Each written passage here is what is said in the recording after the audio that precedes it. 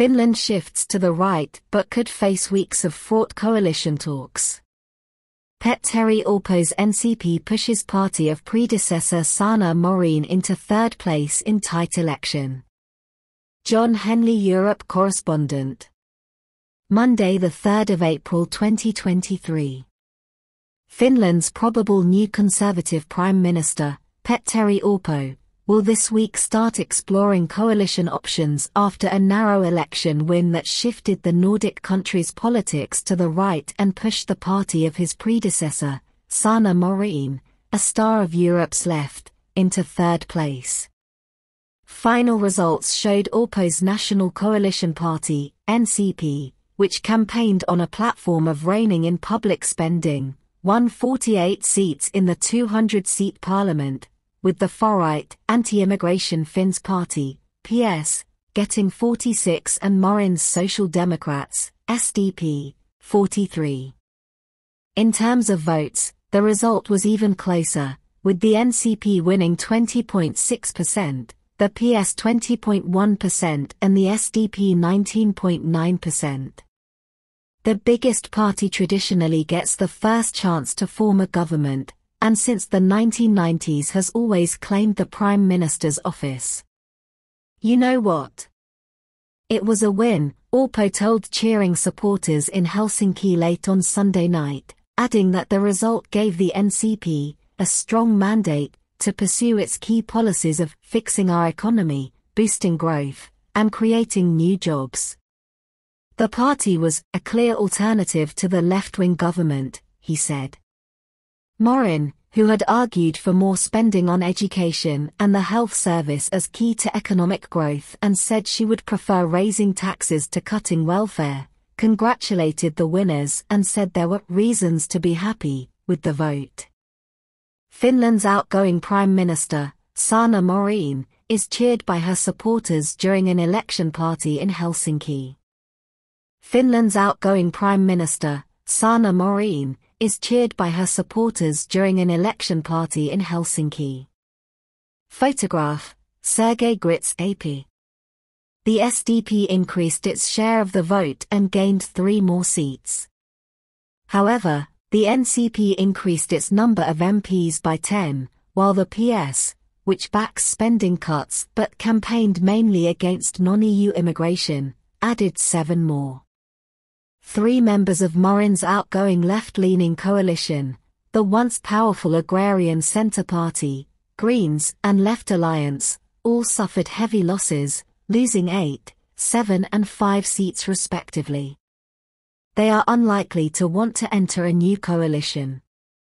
Orpo, 53 and an MP since 2007, will later this week send a questionnaire to all party leaders asking for their positions on key policy issues before beginning talks with those seen as the most probable partners. He faces a difficult job forming a new government. He is thought likely to turn first to the PS, whose leader, Riikka Purra, held her party's best election result ever. The far-right party was in government from 2015 to 2017 and its support has surged during a recent sharp rise in the cost of living. Riikka Purra's far-right, anti-immigration Finns party came second with 20.1% of the vote. Riikka Purra's far-right, anti-immigration Finns party came second with 20.1% of the vote. Photograph, Jonathan Näckstrand, AFP, Getty Images. But although the NCP and PS agree on the broad lines of essential spending cuts, they are deeply divided over other key policies. Both have red lines that will be tough to reconcile, said Dr. Emilia Palonen, a political scientist at the University of Helsinki. The NCP backs selective, work-based immigration to help fill job vacancies and boost growth. The PS vehemently opposes this. Purra's party also favours leaving the EU as a long-term goal and wants to postpone Finland's 2035 carbon neutral target. Those issues could prove insurmountable for many more moderate NCP members, while the refusal of several smaller parties to enter a coalition with the far-right party further limits Orpo's options for a so-called blue-black right-wing coalition.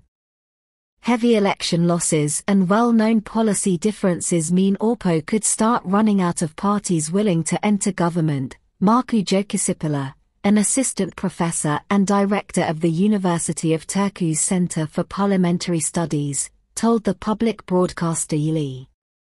The PS, too, may think twice about joining a government coalition if it means abandoning some of its key election pledges. They cannot stick to their climate line if they want to be in government, the tabloid Iltalehti said in its post-election analysis. It is clear that if a right-leaning coalition is achieved, there will be some very disappointed people among Finn's party voters, the paper said. Not all their election promises will be able to be redeemed. Orpo's other potential option, a broad cross-spectrum coalition with the SDP, looks equally fraught given the party's very public disagreements over Finland's spiraling public debt, welfare spending and the need for budget cuts. The SDP has been the ruling party, and of course, it will want to join the government, but only if the new program can be made tolerable from its point of view, Iltalehti said. It's not impossible, but the Social Democrats will have to eat humble pie. Marin, now 37, was the world's youngest prime minister at the time she took over from the previous SDP leader in 2019, polling as the country's most popular politician and, abroad, a role model for a new generation of young female leaders. She was credited with leading Finland through the COVID-19 pandemic, taking a hard line against the country's eastern neighbor Russia after the invasion of Ukraine, and bringing the traditionally non-aligned Nordic country to within days of joining NATO. Support for Ukraine in Finland, which shares a 1,300 kilometers 805 mile border with Russia is almost universal, and Orpo made a point on Sunday night of saying Helsinki would continue to stand by Kiev during his tenure. The PS, too, has stressed the importance of sovereignty, solidarity and support for Ukraine. Marin retained the personal support of many voters despite critics claiming she had behaved irresponsibly and inappropriately for a prime minister after she was filmed dancing and singing with friends at a party last summer. Ultimately, however, Public concern about Finland's borrowing its ratio of debt to gross domestic product has risen from 66% to 73% as it seeks to recover from the pandemic and government spending meant opposition messaging on the economy proved successful. Purra gained more personal votes than Marin on Sunday. Finland's swing to the right, and the campaign's focus on the economy, echoes a similar shift in neighboring Sweden last year. The cost of living is also expected to be a key issue among voters in Spanish and Polish elections later this year. There seems to be no more demand for the policies offered by Sanna Marin's government, said Yle's political editor, Maria Stenroos. Whichever option Orpo now chooses, the government's direction will change to the right.